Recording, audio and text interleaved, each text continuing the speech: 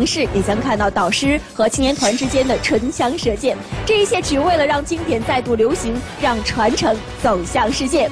接下来，让我们响起最热情的掌声，欢迎四位导师。首先，我们要欢迎的是著名的影视表演艺术家陈道明老师，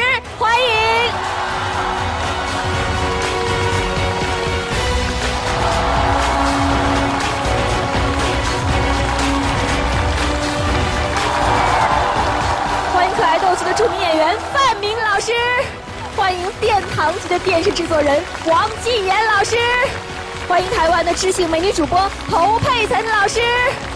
再一次响起最热情的掌声，欢迎他们。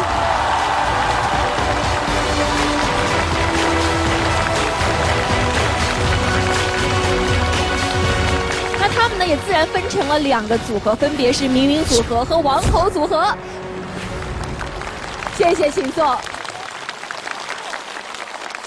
因为这一次都是四位的荧屏首秀，都是第一次当导师这样的一个身份啊，有什么样的感觉，或者是有什么样的期待？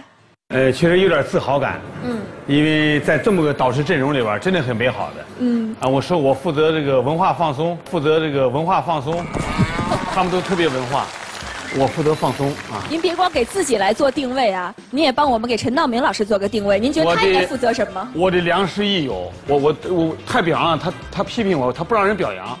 陈老师一贯低调啊，是不是很难得见到他在平时这种场合首秀？导师首秀，耶！谢谢范老师说我不着调。